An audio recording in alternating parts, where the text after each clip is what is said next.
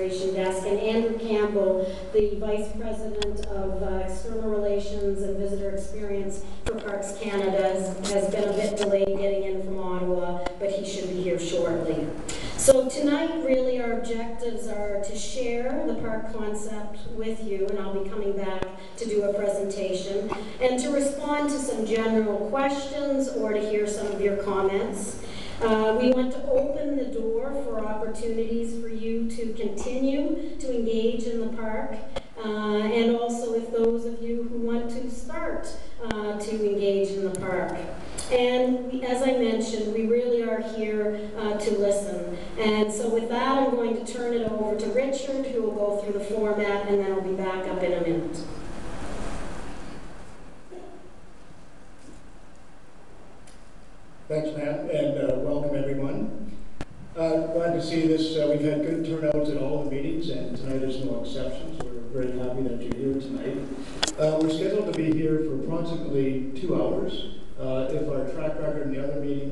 that's any indication the conversations we've had with you folks on a one-on-one basis uh, will take us uh, longer than that. Uh, the agenda is broken down into two parts. The first part is scheduled for about an hour. As Pam mentioned, she'll do a presentation on the park concept and how we got to the park concept. And uh, well, that will be followed by about a half hour period of questions uh, and comments, clarifications that uh, you can address to Pam and others, our staff, uh, up here at the front. We'll have two people, uh, Diane and Lou, and uh, Carrie will be walking around with uh, remote mics. So we will uh, come to you uh, with the mics so you can ask your questions. And we'll probably work one, we, the seats are broken up into three sections. So we'll just work our way section by section and then repeat. So uh, you just have to put up your hand and we'll keep track of who's, uh, who's uh, wants to ask a question. Uh, uh, following the, uh, the question period, we will then have about 45 minutes or longer for informal conversations with you. and so we can do that either in here, out in the foyer, or both, whichever, wherever we want to congregate. we do have at the tables outside, as you came in, most of you saw that there were iPads uh, with surveys, the online survey. Uh, for those of you that want to fill out an online survey, we have green cards that will take you can take with you, and uh, that will direct you to the website and to the online survey as well. So we really do encourage you to fill out that survey. We've had hundreds and hundreds of people uh, providing input, and the survey really allows us to organize what all of you are saying so that we can maximize uh, our understanding of what uh, the communities out around the park are saying to us. Uh, we hope to wrap up around nine. Uh, that may be, uh, we're starting a little bit late, and uh, as I said, we may extend the conversations. The treats will be outside as well, I think beginning at eight o'clock. And we also have, I think John has a camera, so we would like to take a few general photographs just for the record of tonight's session. Uh, no up-close photos will be taken, but if you have any concerns or prefer not to be in a photo of any kind, uh, please let, uh, know. Uh, washrooms are uh, to the left, out the doors, and sort of straight ahead and bit to the left. And uh, as I mentioned, coffee and cookies will also be available. So in terms of tonight's session, uh, we don't expect everyone to have read the concept. Uh, it is on the website. We do have copies here. We do have a one-page summary as well. Uh, but Pam will provide an overview of the park concept, a thumbnail sketch of what is in the concept document. There are many other topics related to the park as well, in addition to the concept and its planning. Uh, again, the online questionnaire will provide you an opportunity to comment on other elements of the park that we may not cover tonight uh, in the presentation. So with that, I will uh, turn it over to Pam, and uh, we'll get the presentation started. I need to go check for my phone. I can't find it.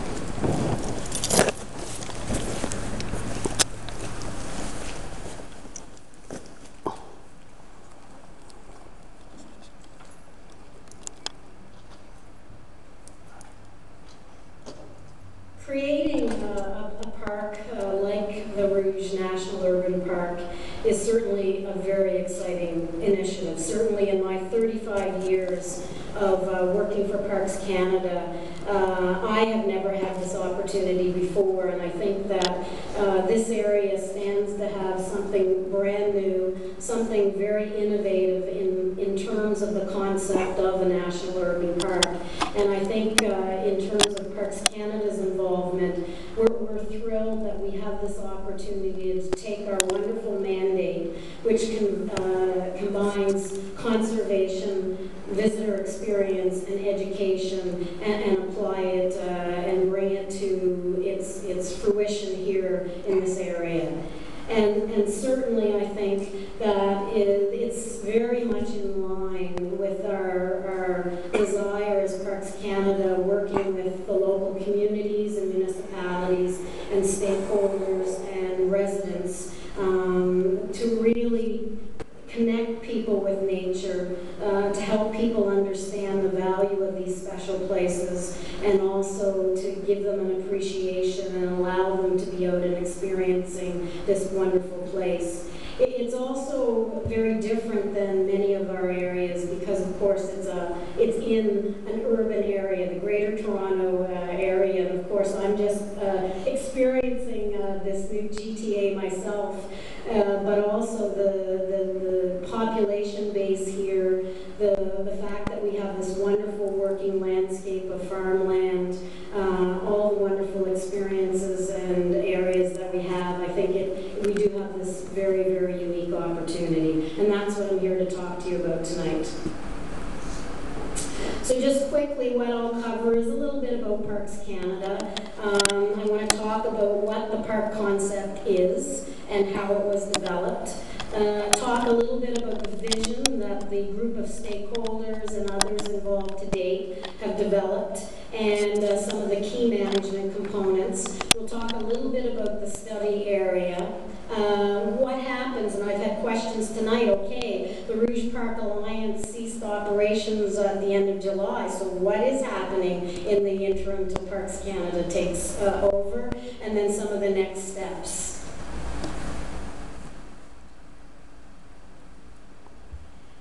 Parks Canada, well, you know, it's, a, it's an organization that's certainly near and dear to my heart uh, uh, and uh, one that I've frankly given my whole uh, working career. And it's, for those of us involved, uh, we're a family of staff. We're also a family of, of protected heritage places around the country. We have uh, 43 national parks.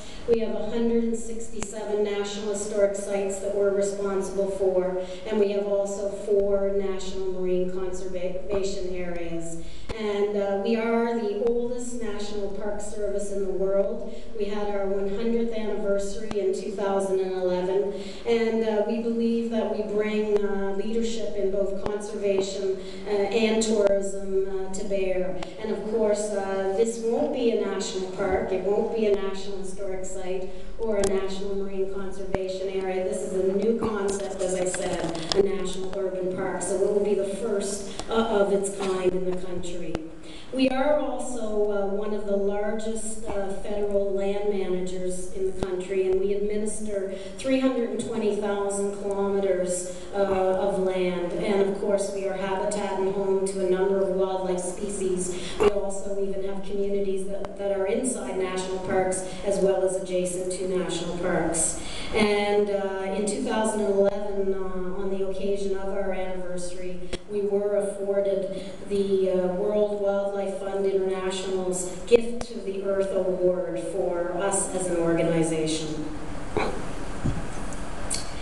Now, on May 25th, 2012, uh, the federal government uh, did announce funding uh, in, uh, of uh, $143.7 million over the next 10 years for park development and implementation, and also a budget of 7.6 million for an operating budget thereafter. Of course, the idea of a national urban park was first mentioned in the speech from the throne, and uh, then, of course, uh, the funding announcement came in the 2012 budget. And some of you have said, okay, we have now a national urban park. We don't actually have that yet. That hasn't been established. Uh, you're going to hear in a little bit that we are working towards establishment, but this requires special legislation, and so that has to be developed. And obviously, this concept and strategic plan for the park uh, has to be uh, developed as well. Parks Canada does not uh, have title to the land, and, and uh, that's another reason why we don't yet uh, have the National Urban Park. But I think uh, I really want to stress again that uh, we're not coming in and starting from scratch or starting from uh, from nothing.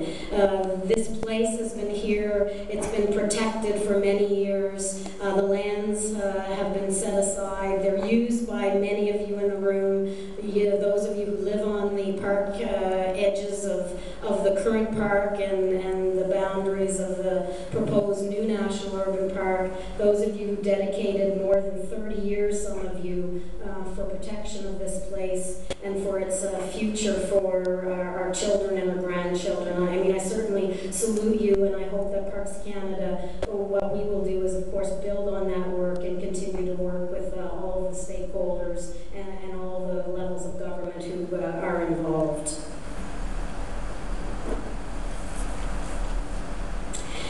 What you, what has been developed now uh, is what we call a park concept. It's actually a vision and broad overview of how the park will be established, protected, and managed.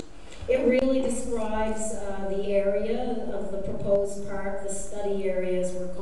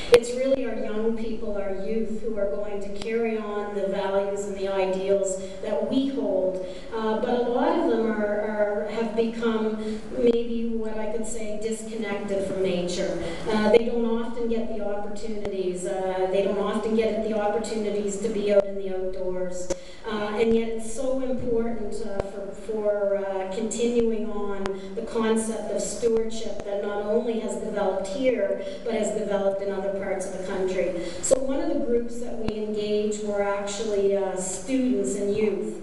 And, and uh, back in uh, February of this year, Parks Canada and U of T Scarborough campus hosted a youth workshop that included um, a, a number of, of people, people, 65 in all. They ranged from high school to university students. They came from places like uh, University of Toronto, Centennial College, Dunbarton High School, Malvern Family Resource Centre, East Scarborough Storefront, the YMCA, and 4-H Ontario. And they gave us their perspectives, and it's always interesting to hear from youth, uh, because sometimes we presume to know what any of us want, and until you listen and hear, you don't always know. The vision, I mentioned it earlier. So this idea of a people's park, and you'll have heard it a lot in uh, some of the media uh, articles and reports. You'll have heard us talking about it. Uh, others have talked about a people's park well before us. And this really underpins and is the underlying vision and concept for a, a national urban park. It's this opportunity for people to connect, to learn, to have meaningful experiences, and to become stewards and carry on this responsibility. Uh, so when you start with a vision, you start with this idea of a people's park. And so the park is to celebrate and protect for current and future generations a diverse landscape in Canada's largest metropolitan area. It's to link Ontario with the Oak Ridges Moraine and to offer varied and engaging opportunities to really be inspirational in terms of, of um, connection to both the natural beauty, but also the wealth of cultural history, which, uh, you know, abounds here, whether we're talking about First Nations or whether we're talking about our wonderful farming heritage in the area or, uh, or settlement patterns and, and residents today. So this idea of protecting both the natural and, and cultural heritage. Um, also to promote a vibrant uh, farming community. And those of you who've attended some of the other sessions, you know, um, right now I'm the superintendent of Banff National Park. We don't have working farms in Banff National Park. And in fact, uh,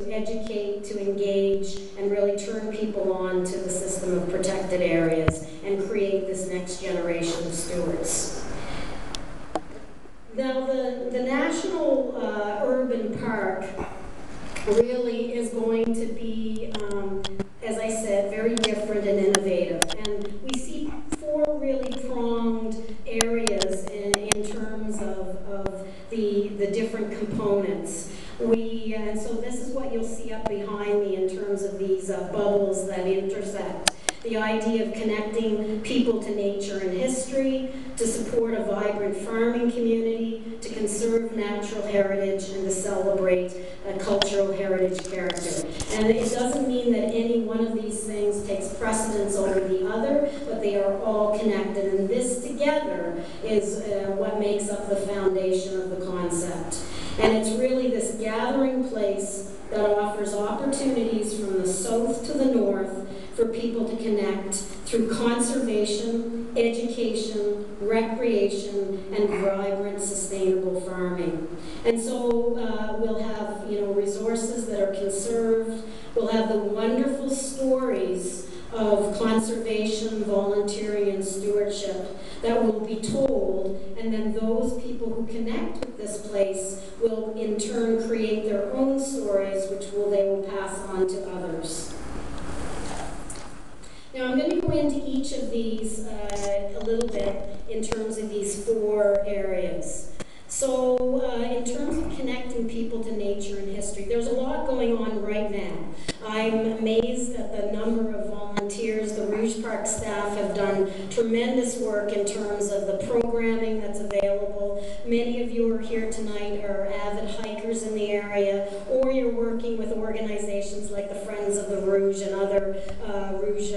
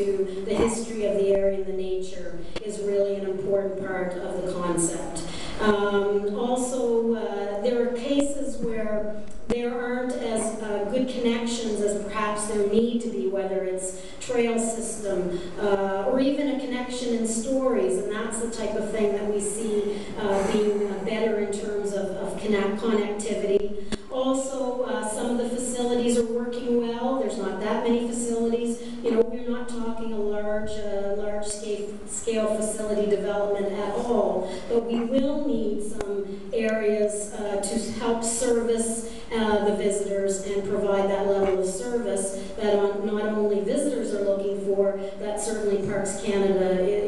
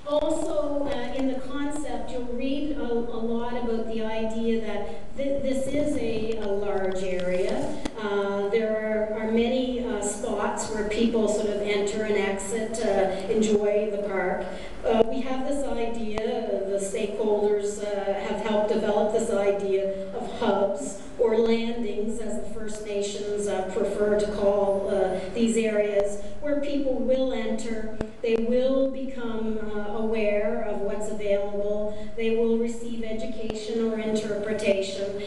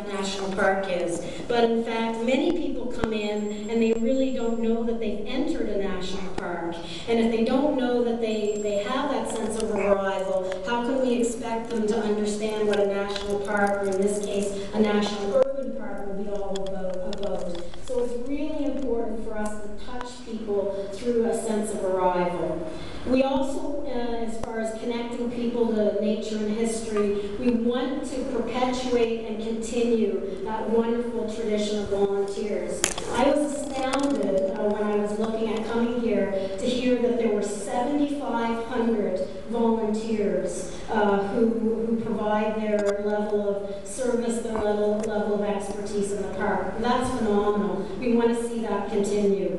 We also, as I talked about, use stewardship to get that next generation of stewards. And of course, one of the things that Parks Canada, I think, is known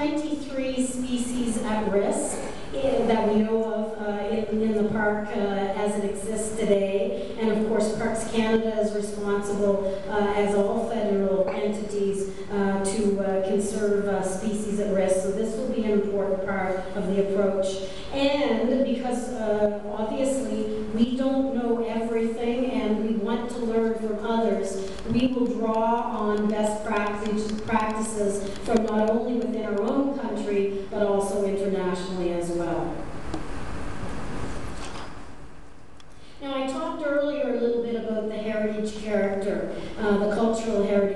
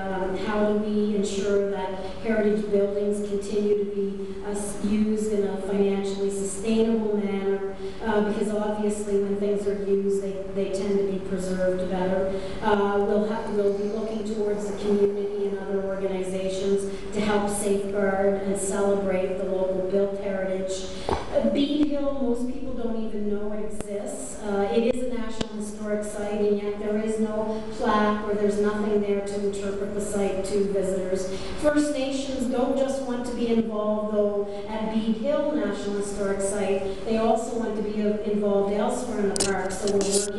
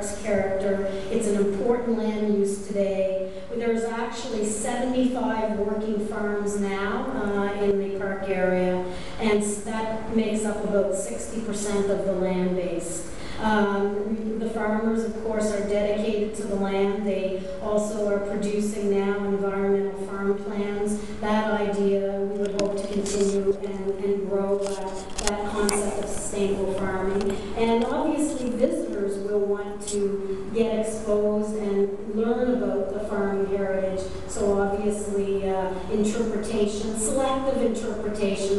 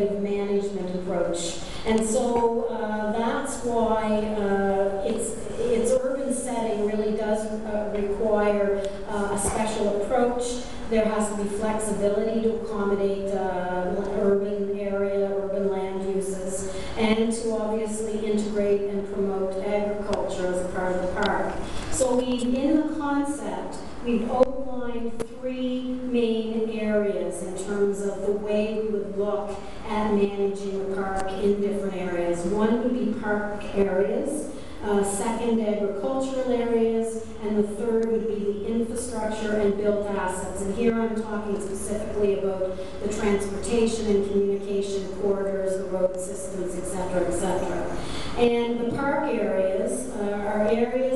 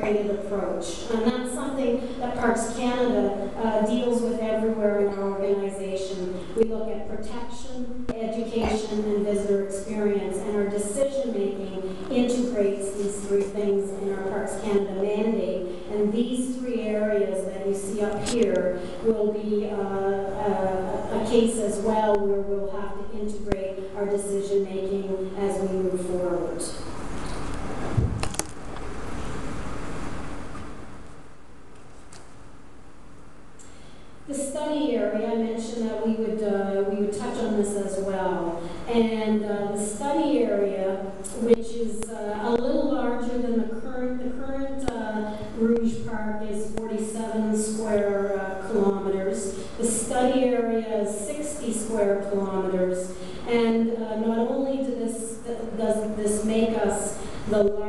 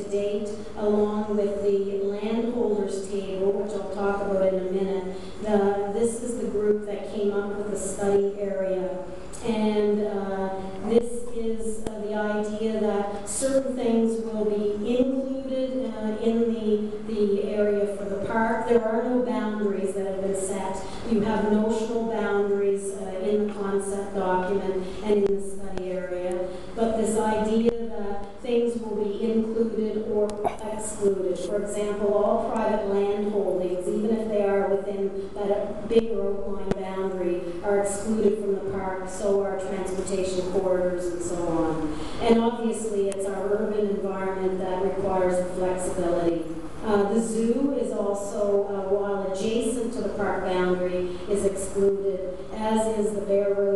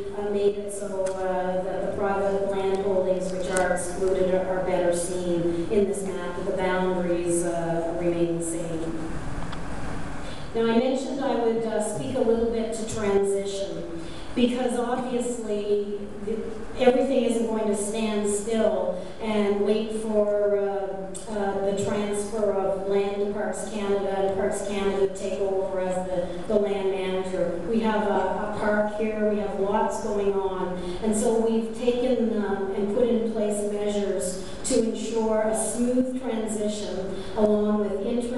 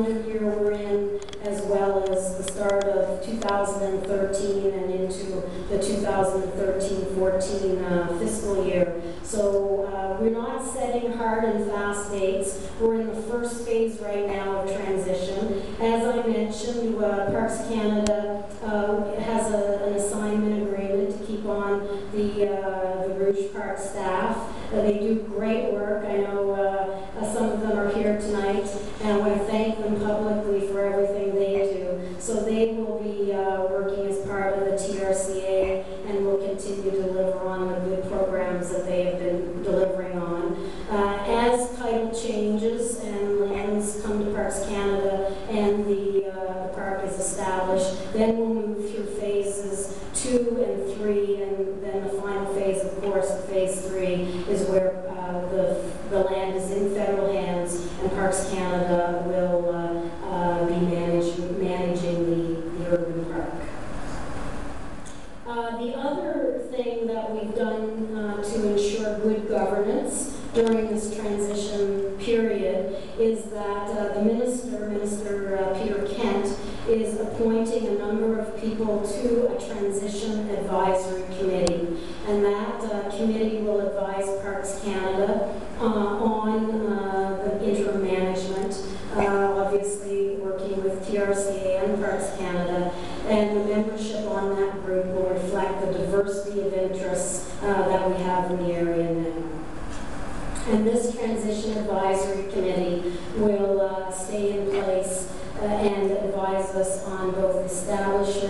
interim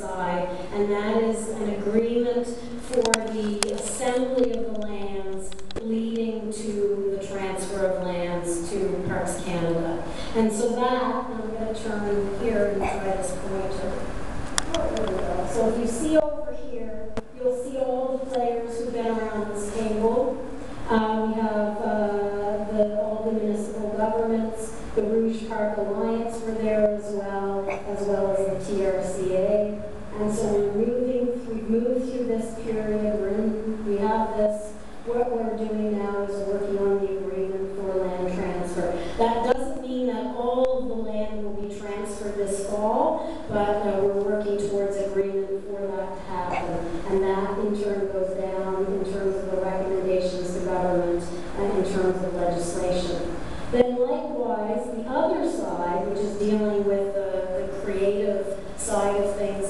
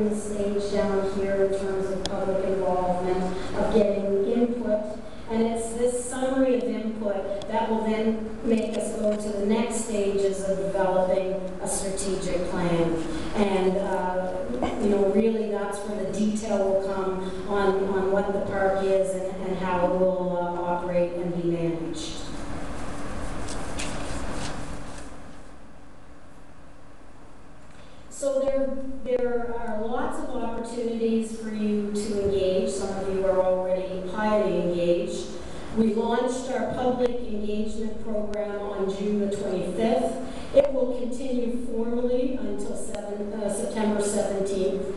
We're using many, many different vehicles. Um, Richard talked about the online survey, very important. We've got cards out there, the iPads, if you want to, to do your survey. We've had hundreds and hundreds of surveys filled out.